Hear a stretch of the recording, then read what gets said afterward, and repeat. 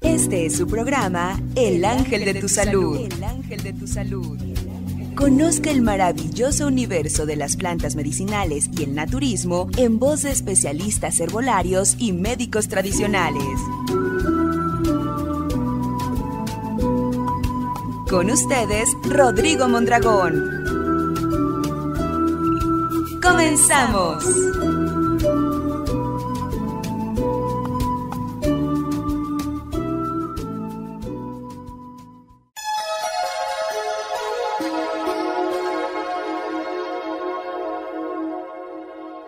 Hola, ¿qué tal amigos? Muy buenos días. Con ustedes, Rodrigo Mondragón, la voz del ángel de tu salud. Con el gusto y placer de siempre, vamos a platicar acerca del daño vascular. ¿Sí? Daño en venas, arterias, arteriolas, vénulas, los conductos circulatorios. Hay daño a veces. Bien, antecedentes. Desde el corazón, la sangre arterial, cargada de oxígeno y de nutrientes, es impulsada a través de la arteria aorta para ser distribuida esta sangre cargada de oxígeno y de nutrientes a todos los órganos de nuestro organismo. ¿Con qué finalidad? Puede aportar sustancias que son necesarias para el mantenimiento de la actividad metabólica, o sea, para continuar con vida. ¿no? Veamos el encéfalo. Es irrigado por cuatro grandes arterias que emergiendo desde la arteria aorta ascienden por el cuello hasta penetrar en el cráneo. Cuatro grandes arterias. Estas arterias que irrigan el encéfalo son simétricas a ambos lados del cuello. Por la porción anterior del cuello ascienden las arterias carótidas comunes y por la porción posterior ascienden las arterias vertebrales, que hacen parte de su recorrido ascendente protegidas dentro de las vértebras cervicales.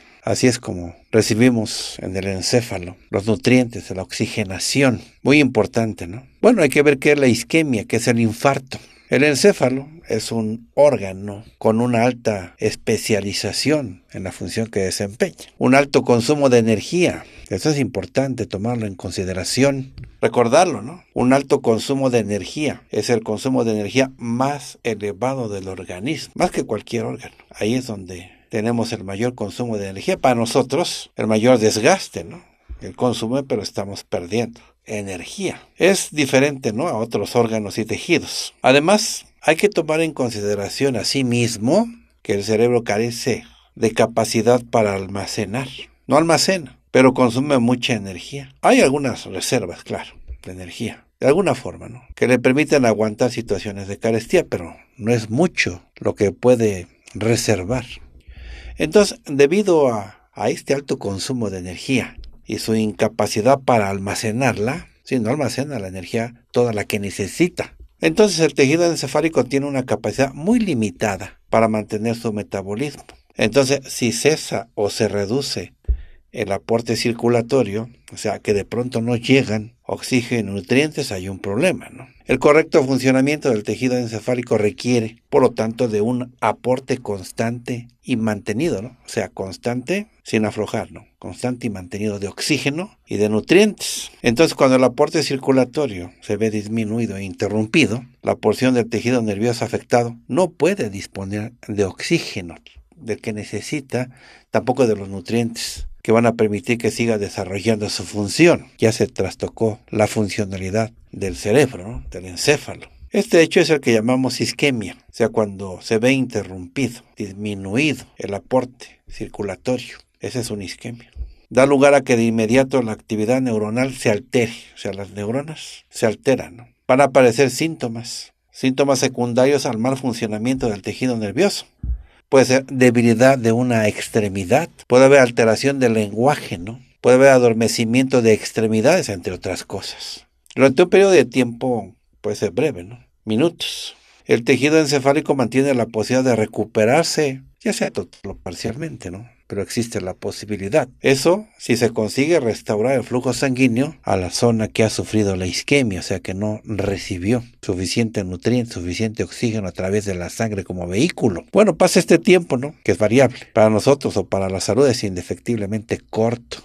Entonces, si pasa este tiempo en donde podemos todavía recuperar, total o parcialmente, pues si pasa el tiempo, pues sí, en definitiva, se produce el cese definitivo de toda actividad nerviosa ahí en ese lugar, en esa área donde está sucediendo la isquemia. Entonces, esta porción de tejido con el daño irreversible se necrosa, o sea, se muere. Eso se necrosa. porque no recibió que oxígeno y nutrientes. Constituye entonces una zona de infarto. El infarto es irrecuperable. Además hace que los síntomas permanezcan en el tiempo. Puede haber secuelas, ¿no? Se, se condicionan las secuelas en la persona que sufre este accidente, ¿no? El cese de flujo sanguíneo en una arteria del encéfalo puede producirse, ¿no? Por distintas causas. Pero sí, importante, ¿no? Porque la obstrucción de la luz arterial por un trombo, o sea, el taponamiento, esa es una obstrucción de la luz arterial. El interior, ¿no? El diámetro interior disponible para el tránsito de sangre, eso le llaman luz arterial. Entonces, se obstruye, se reduce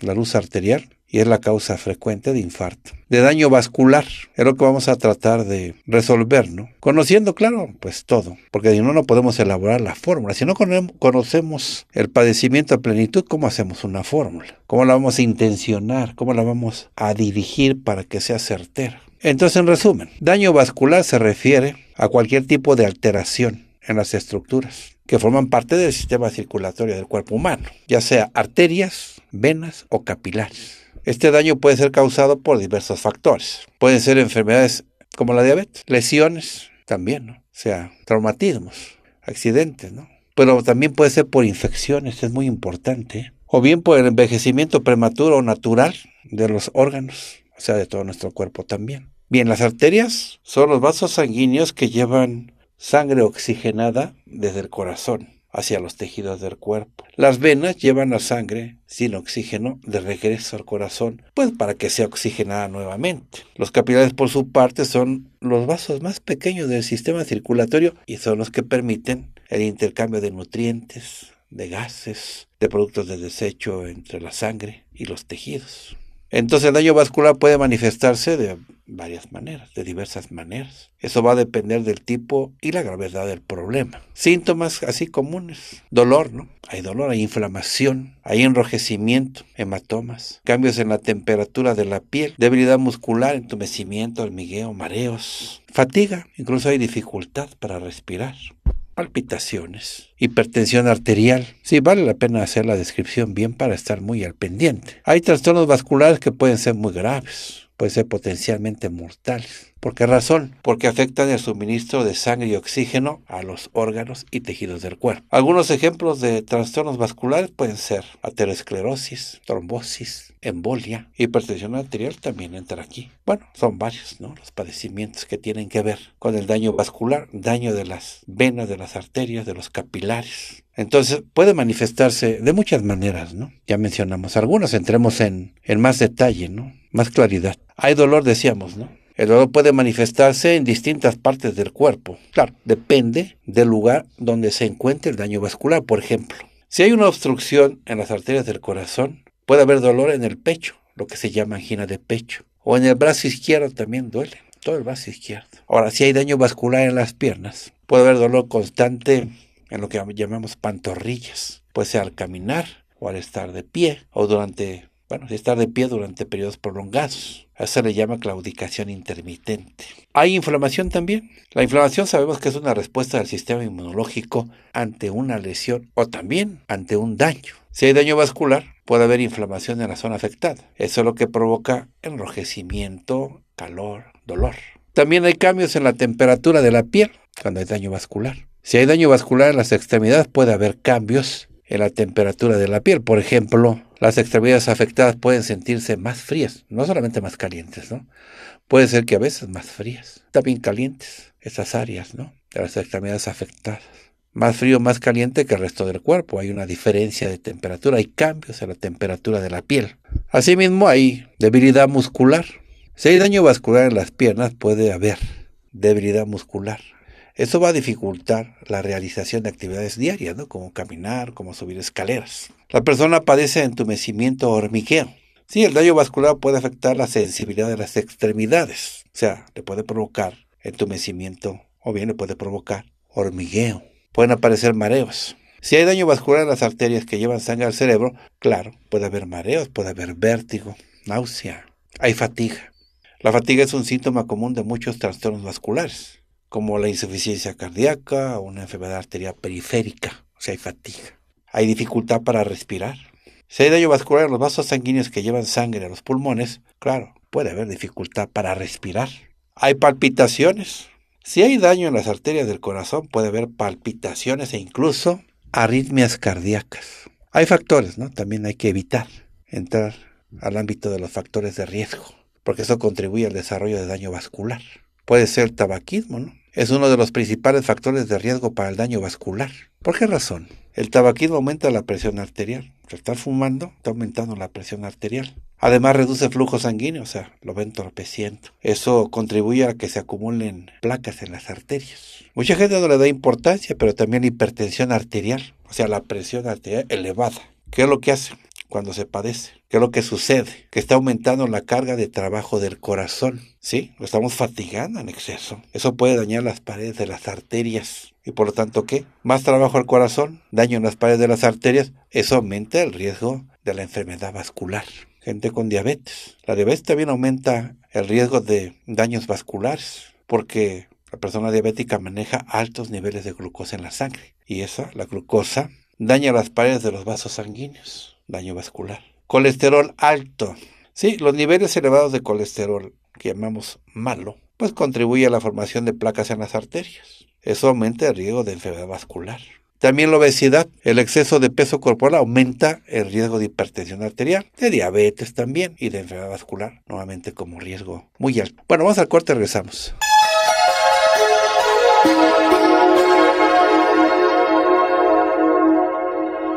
Bien, hay que ver qué plantas nos van a funcionar efectivamente, porque aquí tenemos ya un daño. Hay acciones terapéuticas reconocidas en algunas plantas. La acción terapéutica que más vamos a necesitar es capilarotropa. Planta con acción capilarotropa. Quiere decir que va a reparar. Si eso lo hacen las plantas, claro. Van a dar y aportar vitanutrientes necesarios para que haya una reparación en algo que está dañado, que está afectado, que no está pleno. La funcionalidad es escasa y entonces vamos a recuperar todos los vasos sanguíneos que están afectados, que están dañados, que están atrofiados. Hay una atrofia. Bueno, hay una planta que es excelente, ¿no? Generalmente la conocemos en la cocina, pero no conocemos a veces el árbol, ¿no? El olivo. Sí, la medicina tradicional ha utilizado el olivo por sus propiedades curativas durante siglos, ¿eh? Siglos. Y bueno, hay que ver qué beneficios se ha indagado que poseen científicamente los olivos. ¿Qué es lo que se aprovecha del olivo? Bueno, sabemos que el aceite, ¿no? También lo utilizamos nosotros en el volaria. Pero también lo utilizamos que las hojas, ¿no? Las hojas de olivo, o sea, la planta, el árbol, árbol medicinal. De sus frutos se extrae el aceitito que es tan conocido en la gastronomía, ¿no? Por sus propiedades y también se utiliza bastante en herbolaria ciertos tipos de aceite. Este es uno de los elegidos siempre cuando se busca coadyuvar en el tratamiento de algunos padecimientos. Pero vamos al punto. Las hojas de olivo. ¿En qué nos pueden ayudar? Pues porque está relacionado al beneficio con el daño vascular. O sea, lo resuelven. Las hojas de olivo tienen propiedades antiinflamatorias. Tiene sus sustancias ya bien investigadas. ¿eh? Hay una sustancia que se llama oleuropeína. Es uno de los compuestos activos presentes en el árbol, ¿no? en la planta. Tiene propiedades antiinflamatorias que pueden ayudar a reducir la inflamación asociada al daño vascular, porque cuando hay daño vascular, recuerden que el sistema inmune no lo hace saber a través de una inflamación a veces muy incómoda, muy violenta, ¿no? Sin embargo, así es como nos enteramos.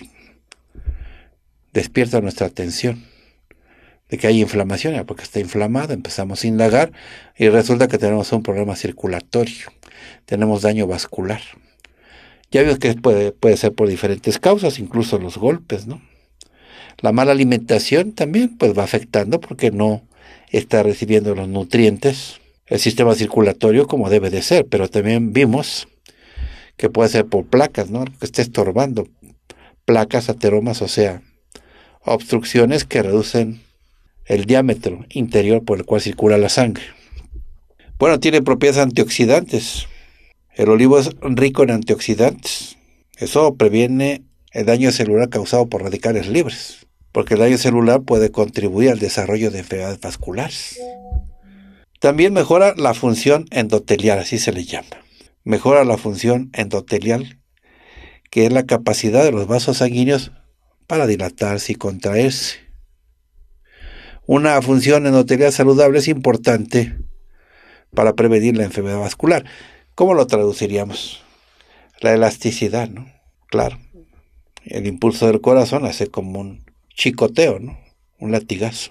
Entonces debe de amortiguarse cuando hay esta buena función endotelial, este buen amortiguamiento, pues no hay daño. Pero cuando ciertas hebritas del tejido endotelial se van rompiendo, se van lesionando, obviamente este chicoteo ya no se da de forma inocua, sino que al contrario causa ya el daño. Y se va, pues, el daño propagando a otras áreas. Entonces, bueno, recupera ya esta función, o sea, esta elasticidad que deben de tener venas y arterias.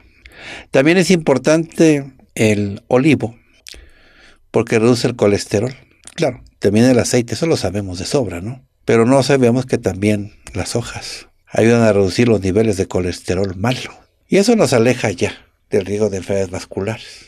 También se utiliza para regular la presión arterial. Regular, ¿qué significa regular? Siempre escuchamos de reducir, pero cuando es regular, se trata de otra acción. Reducir la palabra lo dice, ¿no? Reduce la presión arterial. Pero en este caso de esta hoja tan importante de olivo, pues la va regulando. O sea, si está alta, la baja. Si está baja, la sube. Eso es regular. Esta acción es hermosísima en las plantas.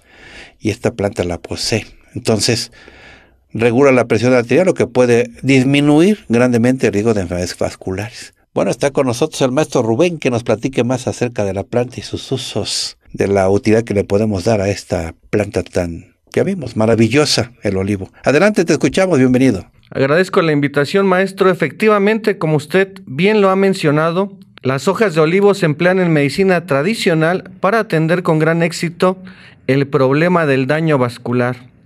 Las hojas de olivo son una planta medicinal muy valorada en herbolaria por sus múltiples beneficios y propiedades medicinales. Las hojas de olivo es un verdadero tesoro para nuestra salud y bienestar. En primer lugar, el olivo tiene propiedades vasodilatadoras, lo que significa que ayuda a relajar y a ensanchar los vasos sanguíneos. Esto permite que la sangre fluya más libremente y además esta planta, las hojas de olivo, regulan, como bien lo mencionó el maestro, la presión arterial. ¿Cómo hace esta regulación las hojas de olivo? Bien, lo lleva a cabo al dilatar los vasos sanguíneos. Esto reduce la carga sobre el corazón y además mejora también la circulación sanguínea en general. El olivo ayuda a mejorar la salud cardiovascular, una planta que beneficia de muchas maneras la salud del corazón. Además de regular la presión arterial, también ayuda a regular los niveles de colesterol en sangre, sobre todo en aquella persona que tiene la sangre muy gruesa, sangre muy espesa, como si fuera tole hay que utilizar las hojas de olivo. Mejora la salud del corazón notablemente. Las hojas de olivo es una excelente opción natural para aquellas personas que sufren de la presión arterial alta. Por otra parte, las hojas de olivo son aprovechadas por los médicos tradicionales para atender el dolor de la boca del estómago, el dolor de los intestinos, dolor que se acompaña de debilidad, dolores musculares, Además, el paciente refiere sentir como una bola en el estómago, como un atascamiento en el estómago, incapacidad para eructar, sudoración fría y vómitos. El olivo asienta muy bien el estómago y mejora, alivia los gases intestinales. El dolor de estómago se puede producir por ingerir alimentos malos, podridos o que no caen bien al estómago. Además, las hojas de olivo también nos permiten atender esos dolores por comer a deshoras o cuando ya se ha pasado la hora de comer. El dolor de estómago se produce por no comer a las horas. Es importante comer a nuestras horas.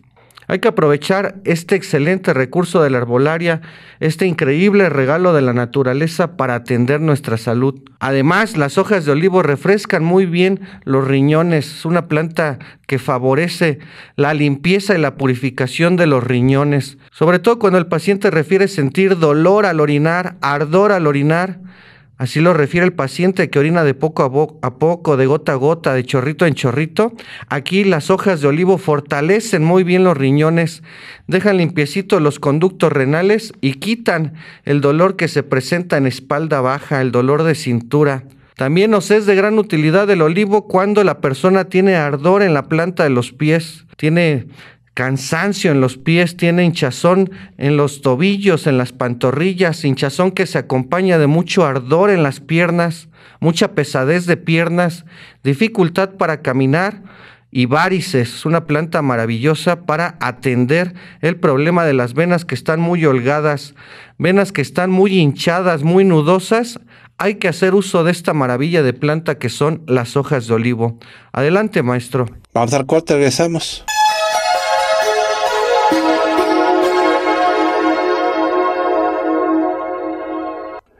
Bien, continuamos, estamos platicando entonces acerca de cómo atender, ¿no? Una circulación incorrecta, una circulación en donde la afectación fue en los conductos circulatorios, en los vasos circulatorios que están dañados, están afectados. Eso provoca o está a punto de provocar, si es que no lo atendemos, una situación que a veces puede ser muy difícil de manejar.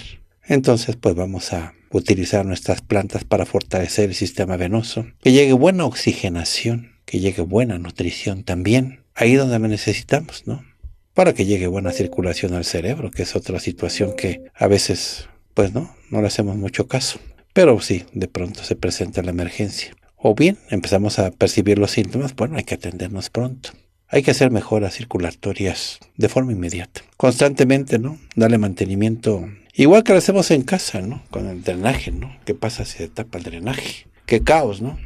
Es lo mismo, pues aquí tenemos esas tuberías, venas, arterias y capilares, que claro, deben de estar todo bien despejado para que circule con facilidad nuestra sangre y entonces lleguen a los órganos, lleguen al cerebro también, nutrientes y oxígeno. Bien, le pedimos que nos proporcione su correo electrónico a dónde, o el correo electrónico a dónde vamos a enviar la fórmula, para que no haya tardanza para que usted inicie su tratamiento también sin retardos. Teniendo a la mano su fórmula, pues ya estamos listos para iniciar un buen tratamiento. El, bueno, la fórmula que elaboramos en el transcurso del programa la colocamos directamente en nuestra página para que usted pueda disponer de la fórmula. Incluso pueda reenviar a alguien que necesite una fórmula que usted considere que es apropiado que le envíe su fórmula a la persona que a veces se queda sin recurso. Sí, porque pues va atendiéndose y los resultados no se han presentado favorables, entonces necesita una fórmula, hay que mandar una fórmula a esa persona. O bien podemos adquirir nuestra fórmula a través de la tienda en línea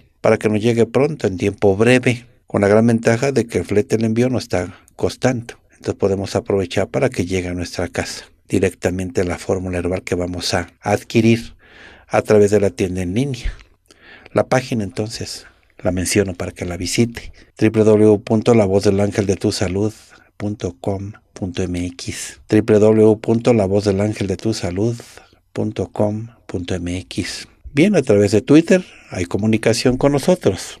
Arroba la voz guion bajo del ángel. Arroba la voz guion bajo del ángel. O a través de Facebook también hay comunicación. Es con el ángel de tu salud México. El ángel de tu salud México. Le recordamos que este programa tiene repetición a las 9 de la noche por internet. Le doy la página www.radiolavozdelangeldetusalud.mx www.radiolavozdelangeldetusalud.mx Ahí puede escucharnos a las 9 de la noche. Bien, continuamos. Vamos a dar datos de nuestros patrocinadores. Centro de Asesoría Herbolaria en Pachuca Hidalgo calle Boulevard Rojo Gómez, número 111, Colonia de Cuesco, primer piso, a cuadra y media de la terminal de autobuses en los primeros semáforos frente a la gasolinera. Anota el teléfono para más informes. 771 719 9790 771 719 9790 Tienda en Ecatepec, Estado de México.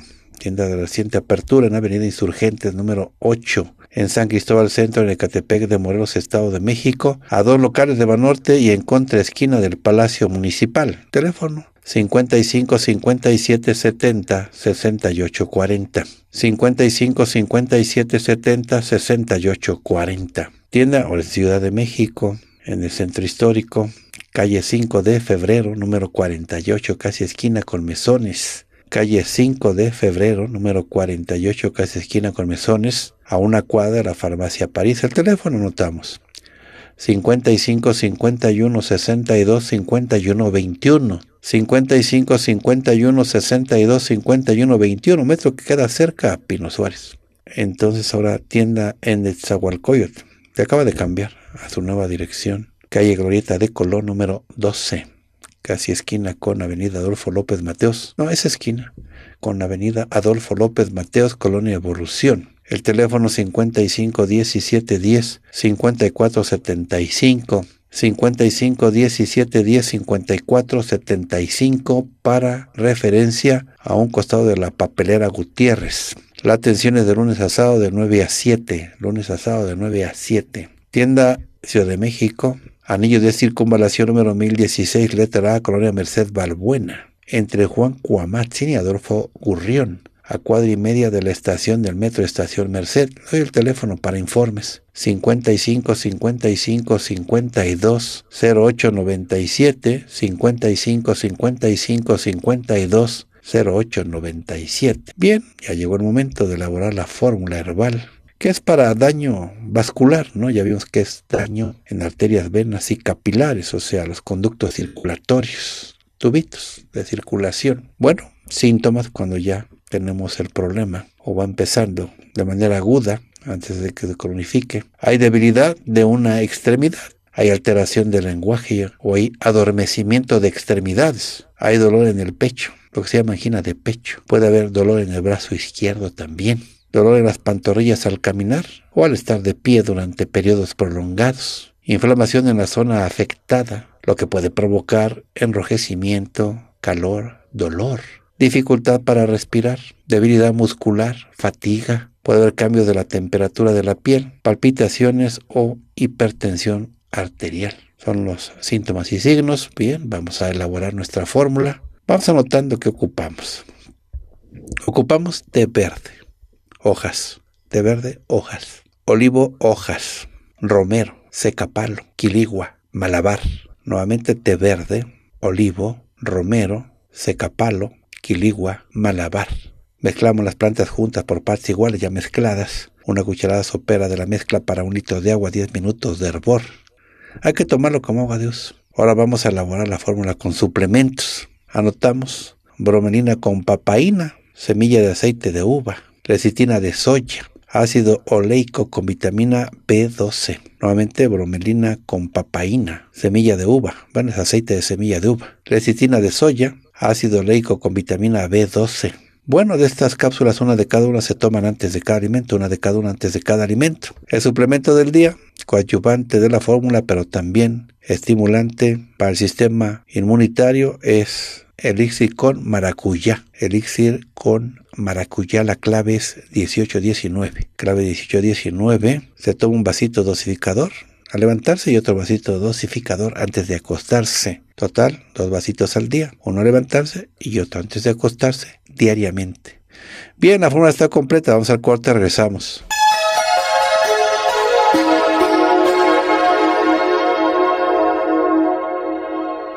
Continuamos, vamos a dar asesoría herbolaria a las personas que nos llaman vía telefónica. Vamos a iniciar. Buenos días, ¿con quién hablo? Con la señora Alicia. Adelante, te escucho. Mire, este, me duele un ovario y se me inflama. Sí. Y ya me, este, me he tomado la hierba del pollo, pero sigue el dolor y la molestia en el ovario. Sí, sí, ¿qué más? ¿Qué más tienes? ¿Qué más te duele? Se me cayó un mueble en la cabeza y, y ahora tiene como un año y ahorita este, están saliendo los resultados y me duele mucho del cerebro y es un zumbido que tengo Sí. y me duele ¿Qué mucho. No, luego no, no puedo dormir del zumbido que me está molestando Sí. ¿Qué más? y soy hipertensa Sí. y este ¿Qué nada más? Ahorita nada más eso lo de la cabeza el zumbido Bueno, y lo del ovario que es que tengo bien, que se me inflama y me duele y es una punzada la que tengo ahí ¿qué edad tienes? yo tengo cin- 76 años 76 años, ¿cuánto pesas? ¿cuánto pesó? 65 Sí. 65 kilos. Bueno, con estos datos nos manejamos entonces. Bueno, entonces vamos a elaborar la fórmula. Bueno, sería... Anotamos tetriki. Luego, magnolia japonesa. Seguimos entonces eligiendo nuestras plantas. Espinosilla, también agregamos bálsamo del Perú, flor cónica, clanchichinole. Bueno, fueron las siguientes plantas. Tetriki, magnolia japonesa, espinosilla, bálsamo del Perú, flor cónica, clanchichinole. Mezclamos las plantas juntas por partes iguales ya mezcladas. Una cucharada sopera para un litro de agua, 10 minutos de hervor. Se toma como agua de uso. Bien, vamos a hacer la fórmula de los, de los suplementos. Bueno, utilizamos lo siguiente, vamos anotando, utilizamos propóleo. Utilizamos también alfa linoleico con vitamina A. Utilizamos aval y utilizamos cachanes. Fue así, propóleo, alfa linoleico con vitamina A, sabal, cachanes. Bueno, estas cápsulas una de cada una y se toman antes de cada alimento. Me dio gusto atenderte. Atiendo a la siguiente persona. Buenos días, ¿con quién hablo? Con el señor Francisco Salazar Hernández. Bien, don Francisco, adelante, le escucho. Eh, mire, mi problema es la vesícula y el apéndice. Se me juntaron las dos cosas al mismo tiempo. Sí. Y quiero un tratamiento para limpiar. Que de, limpiar bien. Deseche todo. ¿Sí? ¿Qué es lo que tiene la vesícula? Eh, piedras. Piedras. Piedras. Bueno. ¿Qué otros síntomas hay? Eh, dolor. ¿Qué más? Ya me hicieron unos este, estudios. ¿Estudios? Sí. ya está diagnosticado. Sí, ya está diagnosticado. Bueno, está bien. También este, está diagnosticada. Bueno. quiero un tratamiento, no quiero que me operen, quiero un tratamiento para... Está bien, este, hacemos el tratamiento. Eh, fui y avanzamos con eso. al Ángel de la Salud y me dieron unas hierbas amargas, me dieron palo santo, eh, cardo santo y, y, otra hierba. Bueno, yo te voy a dar exactamente para las piedras. Y me ha estado descansando, no me ha dolido mucho, pero quiero un tratamiento para limpiar. Sí, te voy a hacer un tratamiamiento para que salga todo el lodo, las piedras, las arenillas. Bueno, es lo que vamos a hacer. Vamos anotando eso que vamos a ocupar. Utilizamos guamis, a jengibre también, pau de arco, tormentilla, alfilerillo, copalchi blanco. Fue lo siguiente, guamis, a jengibre, pau de arco, tormentilla, alfilerillo, copalchi blanco. Bien, mezclamos las plantas juntas por partes iguales, ya mezcladas una cucharada sopera para un litro de agua, 10 minutos de hervor.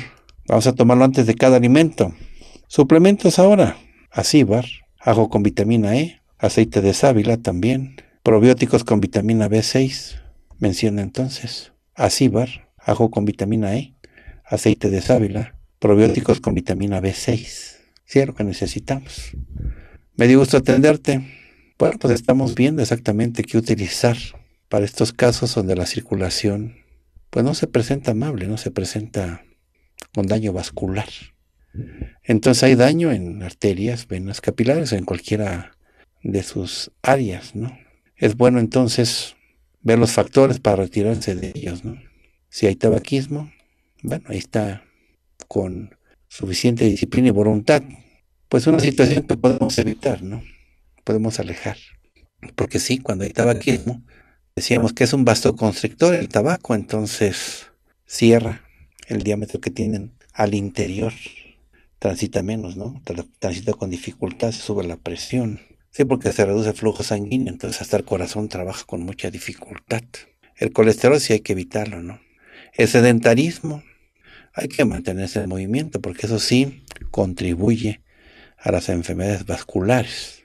Consumo excesivo de alcohol también aumenta la presión arterial y claro, está contribuyendo a que se estén dañando pues las venas, las arterias y los capilares. Así que vamos a protegernos como pues alejándonos de esta adicción.